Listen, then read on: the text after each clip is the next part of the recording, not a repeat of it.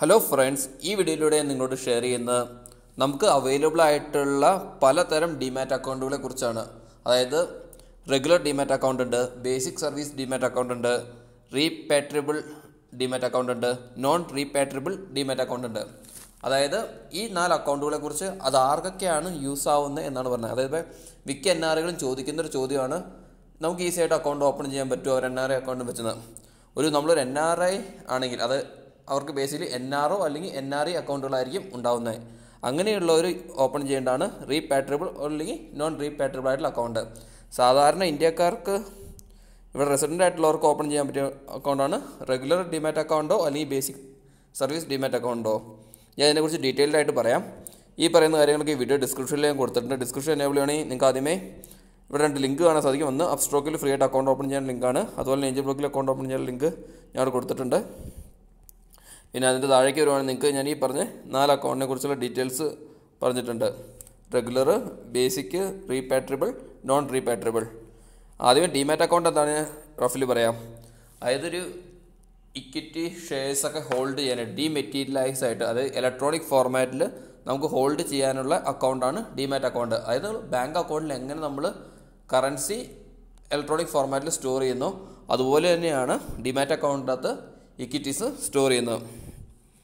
അപ്പോൾ ഞാൻ നാല് ടൈപ്പാണെന്ന് പറഞ്ഞല്ലോ. ആദ്യത്തെ ടൈപ്പാണ് റെഗുലർ ഡിമാറ്റ് അക്കൗണ്ട് അതായത് സാധാരണ ഒരു ഇന്ത്യൻ സിറ്റിസൺ ആണെങ്കിൽ അവർക്ക് ഏതെങ്കിലും ഒരു ഡിസ്കൗണ്ട് ബ്രോക്കറിന്റെ അടുത്തോ അല്ലെങ്കിൽ ഏതെങ്കിലും ബാങ്ക് അതായത് ഫുൾ സർവീസ് ബ്രോക്കറിന്റെ അടുത്തോ ഡിമെറ്റീരിയലൈസ് ആയിട്ട് ഷെയർ സൂക്ഷിക്കാൻ വേണ്ടി ഓപ്പൺ ചെയ്യുന്ന അക്കൗണ്ടാണ് റെഗുലർ ഡിമാറ്റ് അക്കൗണ്ട് എന്ന് പറയുന്നത്.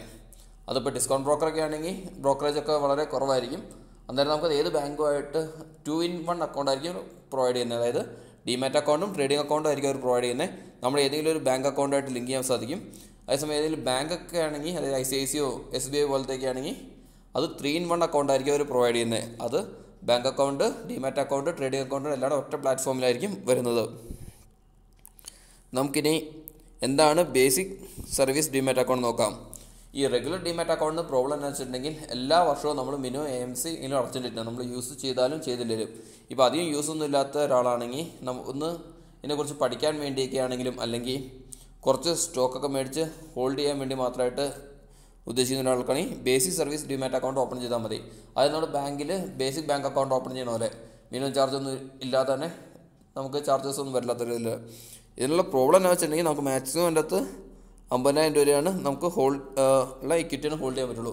അതിന് മുകളിലേക്ക് പോയിട്ടുണ്ടെങ്കിൽ നമ്മൾ ബേസിക് ഹൺഡ്രഡ് റുപ്പീസൊക്കെ പേ ചെയ്യേണ്ടി വരും. അല്ലെങ്കിൽ ഫ്രീ ആയിട്ട് തന്നെ ആ അക്കൗണ്ട് ഹോൾഡ് ചെയ്യാൻ സാധിക്കും. പിന്നെ കുറച്ച് ലിമിറ്റേഷൻസ് ഒക്കെ ആ ബേസിക് ഡിമാറ്റ് അക്കൗണ്ട് ഉണ്ട്. പിന്നെ അതിന് മുകളിലേക്ക് നമ്മൾ ഹോൾഡിങ്സ് ഹോൾഡ് ചെയ്യാൻ തുടങ്ങിയിട്ടുണ്ടെങ്കിൽ ഓട്ടോമാറ്റിക്കലി അത് റെഗുലർ ഡിമാറ്റ് അക്കൗണ്ടായിട്ട് കൺവേർട്ട് ആയിക്കോളും.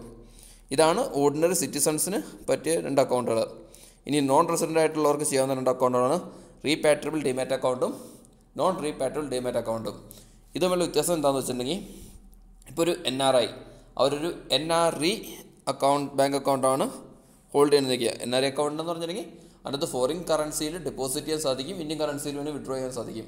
അതായത് ഫോറിൻ കൺട്രിയിലായിരിക്കും ആ അക്കൗണ്ടിന്റെ കൂടുതൽ ഓപ്പറേഷൻസ് നടക്കുന്നത് അങ്ങനെയുള്ള ഒരാളാണെങ്കിൽ ഏതെങ്കിലും ഒരു ബ്രോക്കറിന്റെ അടുത്ത് റീപാട്രിബിൾ ഡിമാറ്റ് അക്കൗണ്ട് ഓപ്പൺ ചെയ്യുകയാണ് വേണ്ടത്. അപ്പോൾ ഈ അതിൽ നിന്ന് വരുന്ന ഹോൾഡിങ്സിൽ നിന്ന് വരുന്ന ഡിവിഡന്റോ അല്ലെങ്കിൽ ക്യാപിറ്റൽ ഗെയിൻ എല്ലാം ഡയറക്റ്റ്ലി ഡെപ്പോസിറ്റ് ആവുന്ന അവരുടെ എൻ ആർ ഐ അക്കൗണ്ടത്തായിരിക്കും ഡെപ്പോസിറ്റ് ആവുന്നത്. അത് നമുക്ക് എപ്പോൾ വേണമെങ്കിലും നമുക്ക് നമ്മുടെ ഇന്ത്യൻ കറൻസി ആയിട്ട് നമുക്ക് വേണമെങ്കിൽ പിന്നീട് വിഡ്രോ ചെയ്യാൻ സാധിക്കും ഇന്ത്യയിൽ പക്ഷേ അതിന്റെ ഒരു പ്രോബ്ലം എന്ന് വെച്ചിട്ടുണ്ടെങ്കിൽ ഒരു ലിമിറ്റ് വരുന്നുണ്ട്. അത് എല്ലാ N R A N R O N R E അക്കൗണ്ടുകൾക്കും വരുന്ന ലിമിറ്റ് തന്നെയാണ്. വിഡ്രോ ചെയ്യുന്ന സമയത്ത് വൺ മില്യൺ പേർ കലണ്ടർ ഇയറിൽ കൂടുതൽ വിഡ്രോ ചെയ്യാൻ സാധിക്കത്തില്ല. അതുമാത്രമുള്ളൊരു വ്യത്യാസം വരുന്നുള്ളൂ. പിന്നെ ഇപ്പോൾ ഒരു നോൺ റെസിഡന്റ് ആയിട്ടുള്ള ഒരാൾ N R O bank account hold ചെയ്യേണ്ടതായിരിക്കും അതായത് നാട്ടിൽ തന്നെയുള്ള ഏതെങ്കിലും ഒരു ബാങ്കിൽ ഇന്ത്യൻ മണി തന്നെ ഡെപ്പോസിറ്റ് ചെയ്യാൻ വേണ്ടിയുള്ള ഒരു N R O account hold ചെയ്യുന്നുണ്ടെങ്കിൽ അവർ എടുക്കേണ്ടതാണ് നോൺ റീപാട്രിബിൾ ഡിമാറ്റ് അക്കൗണ്ട് ഇതിനുള്ള അഡ്വാന്റേജ് ഉണ്ടെങ്കിൽ ഡെപ്പോസിറ്റ് ആവുന്ന ഇന്ത്യൻ റുപ്പിയിലായിരിക്കും വിഡ്രോ ചെയ്യുന്ന ഇന്ത്യൻ റുപ്പിയിലായിരിക്കും അപ്പോൾ അതിന് പ്രത്യേകിച്ച് ടി ഡി എസ് ഒന്നും കട്ടാവുന്ന ബുദ്ധിമുട്ട് വരുന്നില്ല. മറ്റേ അക്കൗണ്ടാണെങ്കിൽ ടി ഡി എസ് കട്ടാവും അതിൽ പ്രത്യേകം നമ്മൾ അതിനുള്ള ഫോമൊക്കെ കൊടുക്കേണ്ടി വരും. നമ്മൾ ഏത് കൺട്രിയിലാണോ സ്റ്റേ ചെയ്യുന്നത് അതനുസരിച്ചുള്ള ചാർജസും കാര്യങ്ങളൊക്കെ വ്യത്യാസം വന്നുകൊണ്ടിരിക്കും. ഇതിന് പ്രോബ്ലം എന്നാ വെച്ചിട്ടുണ്ടെങ്കിൽ ഈ എൻ ആർ ഒ അക്കൗണ്ടിലേക്ക് വരുന്ന ഇപ്പോൾ ഡിവിഡന്റ് ഏണിങ്സോ അല്ലെങ്കിൽ ക്യാപിറ്റൽ വരുന്നത് വേറൊരു എൻ ആർ ഐ അക്കൗണ്ടിലേക്ക് ട്രാൻസ്ഫർ ചെയ്യാൻ പറ്റില്ല എന്നുള്ളൊരു പ്രോബ്ലം മാത്രമേ ഉള്ളൂ. അപ്പോൾ ബട്ട് ബാക്കി എല്ലാ പ്രോസസ്സും എൻ ആർ റീപാട്രബിൾ അക്കൗണ്ട് ആണെങ്കിലും നോൺ റീപാട്രിയബിൾ അക്കൗണ്ട് ആണെങ്കിലും ഓൾമോസ്റ്റ് എല്ലാം സെയിം ആണ്. എൻ ആർ എസ് ഈ അക്കൗണ്ട് ഓപ്പൺ ചെയ്യാൻ നോക്കുവാണ് എപ്പോഴും വേണ്ടത്. സാധാരണ നമ്മുടെ നാട്ടിലെ എൻ ആർ എസ് ചെയ്യുന്നത് എന്താണെന്ന് വെച്ചിട്ടുണ്ടെങ്കിൽ നാട്ടിലുള്ള എല്ലാവരും പേരിൽ ഉള്ള ഓർഡിനറി അക്കൗണ്ടായിട്ട് എടുത്തിട്ട് അവിടെ റെഗുലർ ഡിമാറ്റ് അക്കൗണ്ടാണ് ഹോൾഡ് ചെയ്യുന്നത്. പക്ഷേ ഇത് ലോങ് ടൈമിലേക്ക് നിങ്ങൾ ഇൻവെസ്റ്റ്മെന്റ് ഉദ്ദേശമൊക്കെ ചെയ്യുന്ന ഒരാളാണെങ്കിൽ പിന്നീട് അതൊരു ബുദ്ധിമുട്ടായിട്ട് വരും.